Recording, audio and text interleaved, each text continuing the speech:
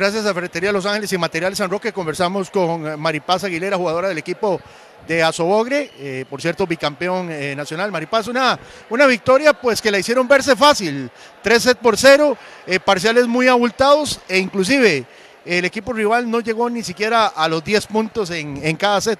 Siento que ahí se pudo demostrar nuestro trabajo que hemos estado empeñando durante estos meses, la preparación tanto física como táctica que hemos tenido. Este, ese equipo tal vez, ta- ese equipo se viene preparando igualmente. Tal vez en ese momento nos vimos superiores y esperemos que sea los igual, ah, sean los mismos resultados para el domingo.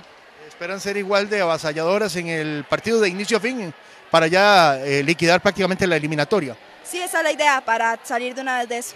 No confiarse, ¿verdad? Lo importante, ¿verdad? No confiarse porque eh, el deporte es así de bonito que cuando usted cree tener a- al rival eh, bajo el zapato, el rival se levanta. Sí, exacto. No nos podemos confiar porque no, ten- no sabemos, no tenemos el conocimiento de las armas que tiene el equipo del comité. Entonces no sabemos cómo nos vienen a jugar. Tal vez nos vengan a jugar igual, tal vez vengan a jugar con distintas tácticas. Entonces no nos podemos confiar y seguir trabajando igual de duro para tener los mismos resultados.